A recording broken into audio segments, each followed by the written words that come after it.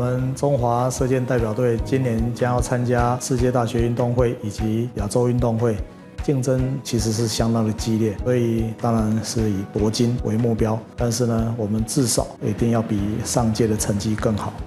在台湾发展射箭运动，大概优势就是很早就从学生着手。不管从国小、国中、高中、大学，甚至于大学之后，那第二个就是说，这些选手回国，当他离开了竞技运动的时候，他还是回国在在射箭这个场域当中工作，包含担任教练工作，投入这个呃射箭的比赛啦、活动、企业赛啦、哦联赛啦这些工作的同仁，那当然不可讳言哦。我们有些缺失啦，应该讲说是劣势啊。在台湾射箭运动的发展受限于场地，还有国人的认知。射箭场如果是奥运、亚运的这个比赛啊，它需要的长度呢稍微比较长一点，然后又有安全距离啊，它又是室外，行政人员呐或者是家长啊，总是有一些疑虑哦，就是安全上的考量哦。器材稍微也贵了一点啊，所以呢造成哈入门的时候的一些障碍。不过，我们也透过很多的机制来降低这样的一个门槛。在学校里面呢，我们大概就是会请热心的厂商哦，提供一些赞助，提供一些入门款式的练习弓啦、箭啊这些赞助。再其次呢，我们就会请各个发展的学校，他们有淘汰堪用的弓箭呢，我们就提供来做一些分派。好，那这样的话，可能有一些新设的学校，大概就会有这样的一个优势哈，可以使用。让更多的学生选手或者是社会人士能够愿意来投入这样子，射箭企业联赛哈发展到现在，当然也经过了许多的波折了哈。不过还好啊，林鸿道理事长他非常的热心，在召集哈这些企业主来组成这样的联赛。那在这个过程当中哈，对新的选手，尤其是青年队的选手，有些激励的作用。哦，因为它等于是这些企业队的二军的概念，然后同时呢，他们在透过这样的一个等于是高水准的高度张力的竞争哈，平常他们在训练的时候，大概也都是跟同年龄啊、同水准的选手比赛，但是呢，在这样的一个企业联赛当中，他们可以在场上跟国内最好的选手同场竞技，所以无形当中他们的抗压力提升了，无形当中他们的水准提升了。所以我们可以看得出，在国外的一些青少年的比赛当中，我们成绩都不是太差。办理国际赛，一方面也是我们自己在培养国内竞技运动很重要的一环。那第二个呢，也在训练我们自己承办国际赛的能力，提升国际的能见度。哦，因为运动环境哈。不是只有竞技运动选手的比赛而已，它其实也包含整个赛会场地设施的进步、人员的运行运作、科技的应用、转播等等，这是一个综合性的一个训练。所以办理国际赛哈，也是我们本会很重要的任务之一了哈。那在短期方面，我们当然希望来持续办理亚洲杯射箭赛，或是亚洲锦标赛。我们最近也拿到了世界室内射箭锦标赛的这个系列赛，这些赛会呢，啊，全部都是有国际积分，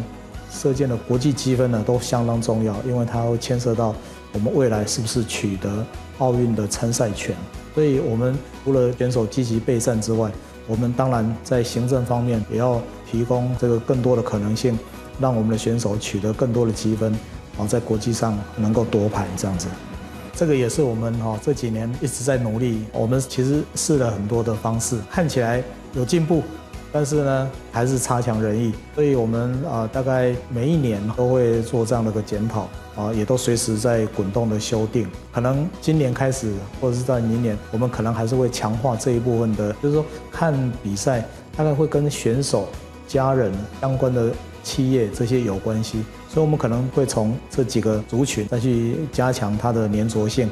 让他们啊来看比赛，然后也得到奖赏哦。那这样的话，提供这种诱因，提升连接度，还有粉丝之间的话题，在现场及时回放，目前好像还没有还没有办法啊马上做到。不过我们也跟转播团队哈在合作检讨，看能不能有一些立即回放的技术。在这个现场或者是在线上观看哦，总是会比较受限，所以这个部分我们一直在改善当中。比赛的过程当中哦，我们也是有四五机同时在拍影片哦，所以其实这个也是非常好的，我们留存资料。那同时呢，我们期待就是说未来哈那种转播的科技更好的时候，哎，我们又可以自己回放，可以选择相关的建筑啦哦这些 highlight 的地方，目前都开始在做这件事情。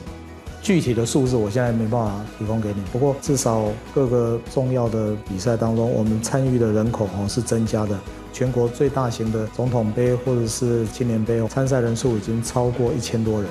所以这个办比赛的时候也是相当辛苦哦。呃，因为受限于场地的大小，所以时间都拖得比较长。那大概就可以看得到专业运动员的成长。那另外一个，我们当然在期待，就是说，尤其是林主席哈，他接任我们射箭协会的理事长之后呢，他更强调的是说，怎么样让更多人接触射箭运动。第一个就是曾经射过箭的、玩过射箭运动的，我们可能就把它看用什么方式把它召集回来，办一些活动啦、体验啦。再来就是说，针对完全没有经验的，也许我们就办那些亲子的比赛。那我们大概是预计往这两个方向来深化。射箭运动在国人的基础这样子，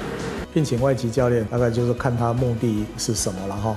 如果从技术水准来看，我们台湾的射箭的技术水准应该算是世界等级的哈。那我们也不能因此自满哈，因为比赛它在改变，赛制在改变，所以呢，有一些以往我们成功的模式，未来会不会是同样可以复制，这是不一定的。刚好在前几天哈，我们也在思考到。哎，我们有没有需要来邀请外籍教练哈，来给我们一些不同的训练的思维模式？大概有谈到这样子，那还没有很具体。不过我认为哈，这个还是有它的必要性。什么样的外籍教练是适合现在的状况？而不是说啊，因为要找外籍教练，所以就随便找一个。企业来培养射箭队，来支持射箭队哈，是一个非常好的投资。我们从几个面向哈，第一个。它的投资的金额是比较节省的，就是整个每一年的营运费用，相较于篮球啦、排球啦、棒球啦，这个是低非常多。在国际的能见度，或是国内，当然国内比不上篮球、棒球啊，但是在国际上的能见度，哎，其实是高非常的多。那第二个优势呢，在于说，射箭运动啊是一个心灵的运动，它虽然竞技。他在比赛当中，但是如果说他一个人在练习的时候，其实也是一个很好的心灵的运动。所以，当这个企业他愿意投入，也许设立射箭场啦，或是这种跟日本公道的概念是一样的，哎，他其实对于高阶运动他自己的心灵成长是有帮助的。再来呢，他可以办员工的家庭日跟员工的成长营，这两个呢稍微不来一样，就是哎，员工家庭日，它其实是可以亲子的比赛啦。或是有一些透过非常有趣的方式哈，把它呈现，也许是九宫格啦啊，然后呃员工的成长可能就是用团体竞赛的模式共同讨论，然后也许是办这种远野射箭，大家一个团队，然后彼此互相加油打气，到每一站呢去射不同的靶哦，也许射三 D 立体的靶，这个就非常有趣，然后也建立团队的凝聚力。哦，我想这个就是有几个好处啦。当然，最重要的还是在企业的永续发展，在这个 SDGs 上面，其实运动其实也是一个很好发挥的一个议题。